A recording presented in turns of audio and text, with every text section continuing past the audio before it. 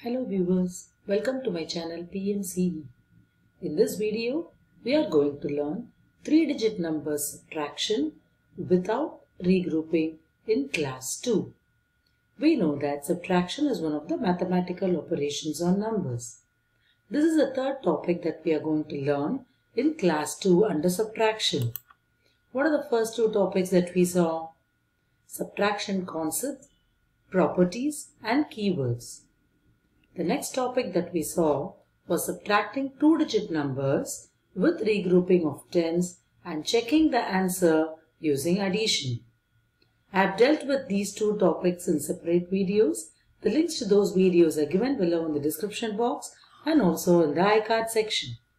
Now in this video, we are going to learn subtracting three-digit numbers without regrouping. Let us go into the details of this video now. Subtract 125 from 648. So here we are going to subtract a three-digit number from another three-digit number.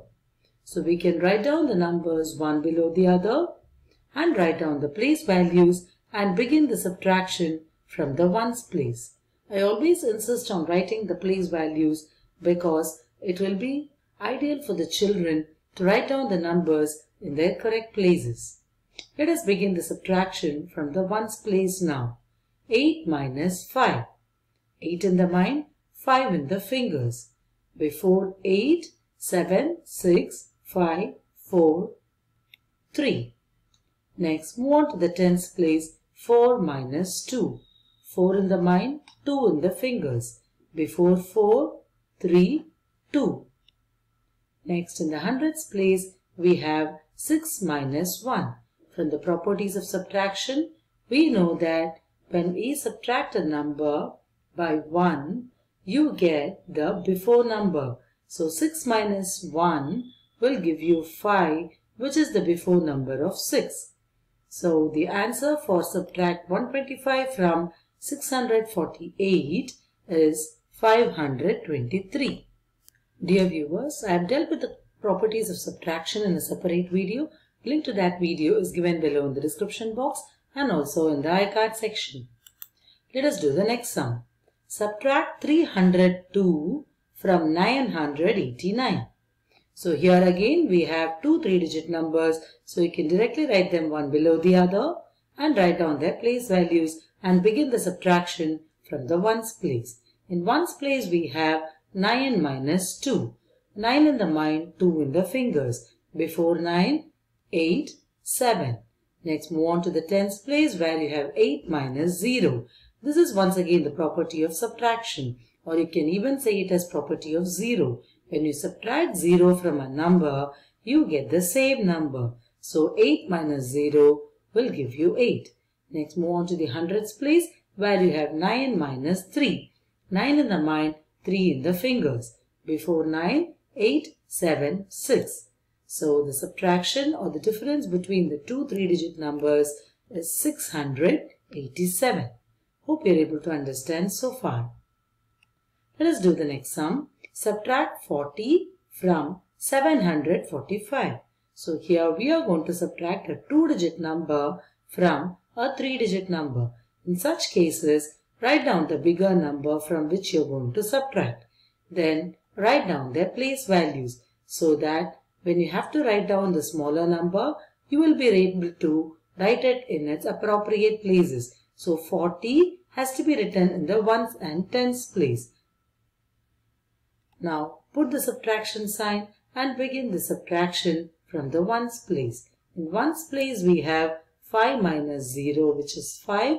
In tens place we have 4 minus 4. This is once again the property of subtraction. When a number is subtracted from itself, you get the answer to be 0. So 4 minus 4 is 0. Next move on to the hundreds place where you don't have any digit to subtract from 7. So you can just take and write down the number 7 in the hundreds place. So when you subtract 40 from 745, you get the answer to be 705. Let us do another sum. Subtract 8 from 868. So here we are going to subtract a single digit number from a three digit number. So first write down the bigger number and its place value ones, tens and hundreds. Next we'll have to write down the smaller number 8. Now as we have put the place values, we know that 8 has to be put in the ones place.